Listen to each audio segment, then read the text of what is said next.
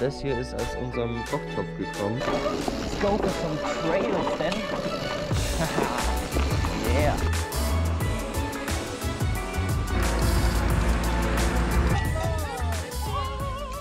Für die Würze beim Shampoo ist auf jeden Fall gesorgt. Auto!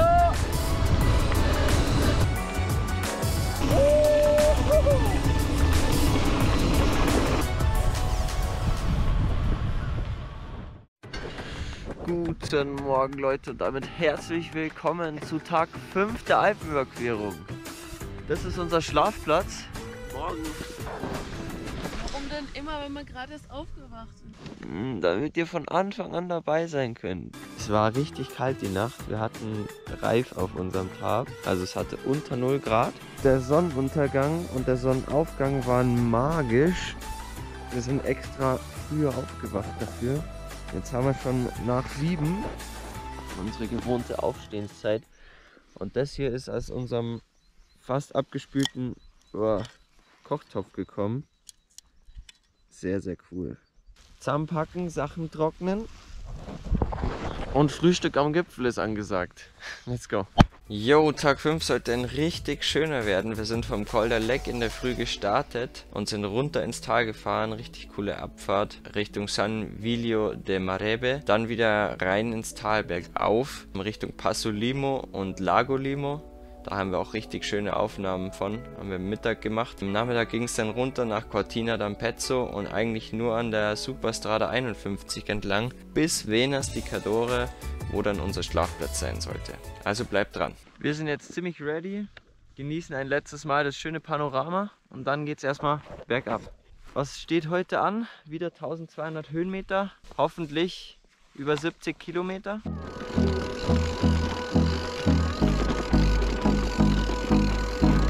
Los geht die Gaudi.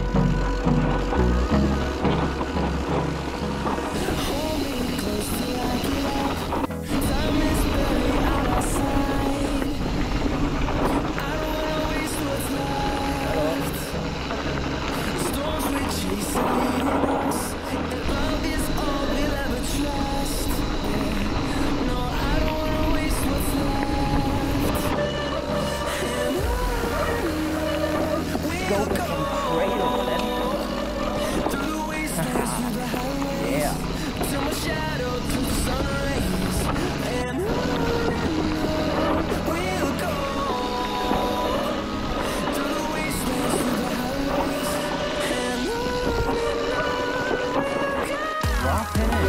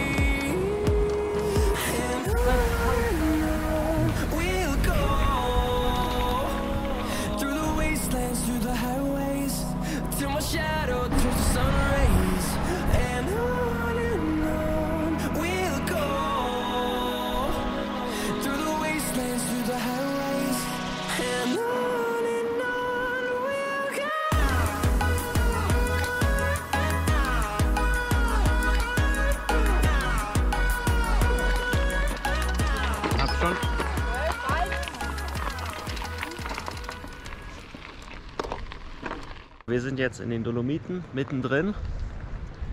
Überall Steine, große Felsen. Wir haben jetzt ganz entspannt eigentlich 600 Höhenmeter gemacht, machen jetzt nochmal 600, die jetzt ein bisschen steiler werden. Wird definitiv anstrengender, als es jetzt gerade war. Aber oben erwartet uns ein schöner kalter See und ich glaube, das ist die Entlohnung.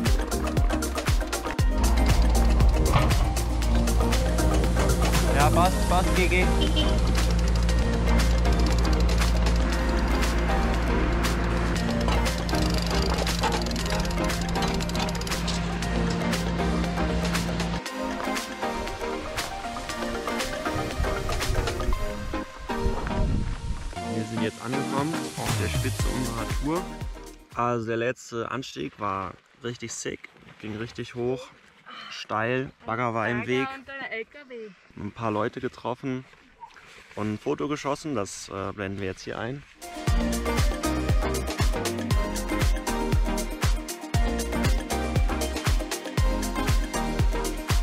Ja, hier unsere Aussicht. Mal wieder grandios. So ist es halt einfach. Ja. Wenn man sich verdient, dann ist es halt einfach so. Und jetzt hier ein bisschen äh, Brotzeit.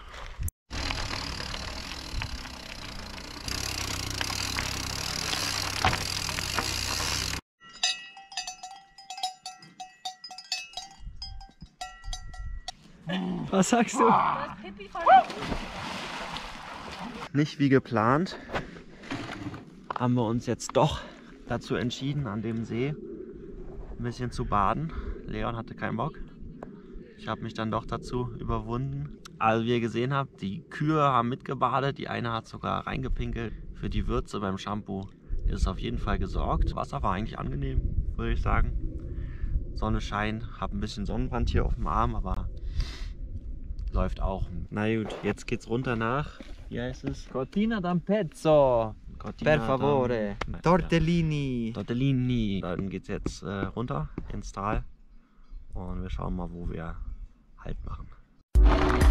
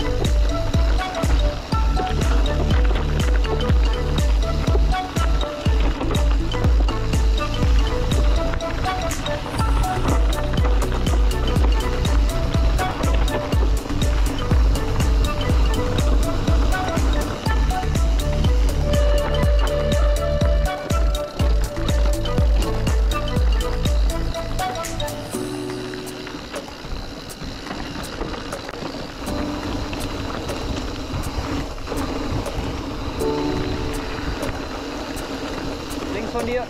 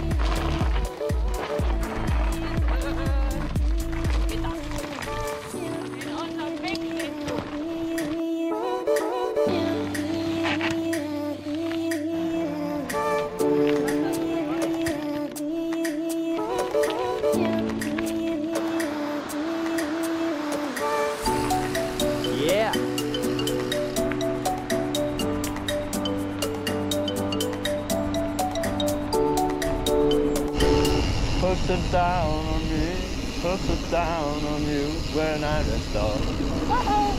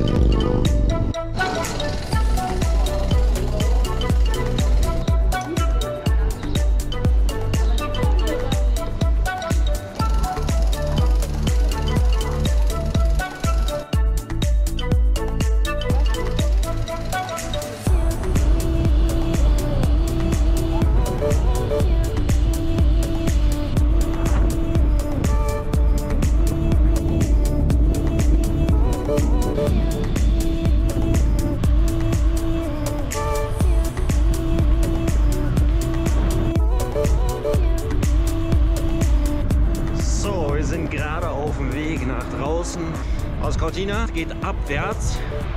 Richtig schön. Wir haben hier geniale Berge. 3000er von den Dolomiten. Wir hatten gerade noch ein Eis und jetzt ist es äh, schon fast sieben und wir sind noch ohne Schlafplatz. Die Challenge ist jetzt guten, schönen, schnellen Schlafplatz finden. Dann kochen. Wir haben Maultaschen wie gestern, äh, Gnocchi, Tomatensauce. Bisschen mehr diesmal als letztes, weil mal beim letzten Mal war wirklich viel zu wenig. Genau, so sieht es gerade aus.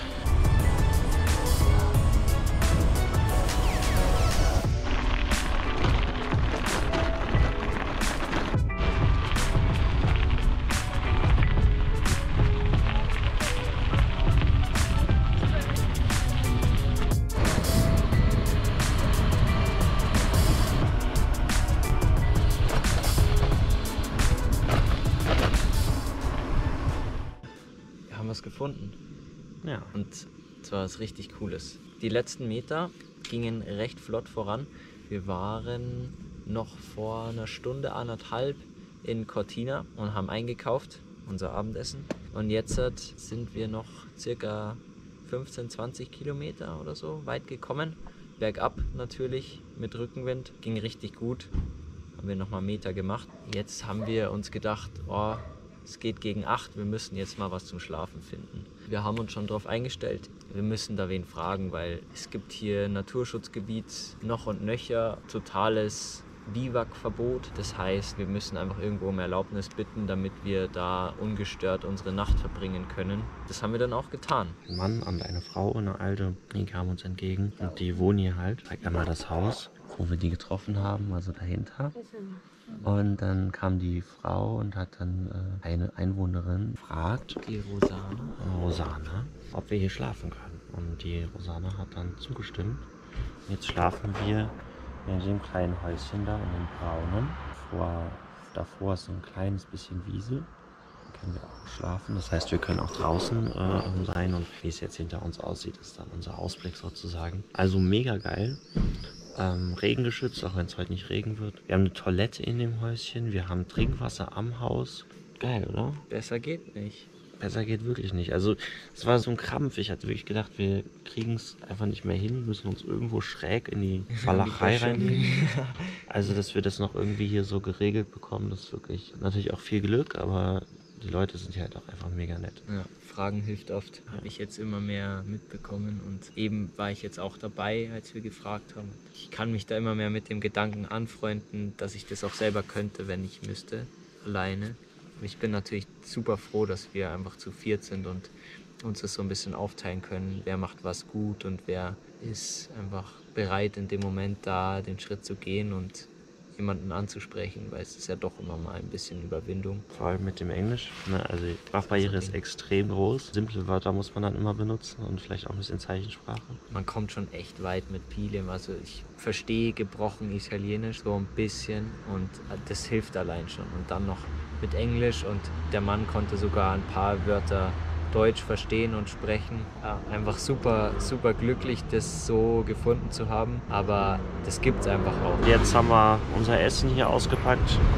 Theresa schneidet gerade den Käse auf. Gefüllte Teigtaschen und Genau. ähm, Gnocchi mit Tomaten Passata von Barilla. Also schön italienisch. Man sagt doch immer auslöffeln und ich gabel es halt aus. Es kommt schon wieder ganz, ganz in, gut in die Richtung, oder? Boah, macht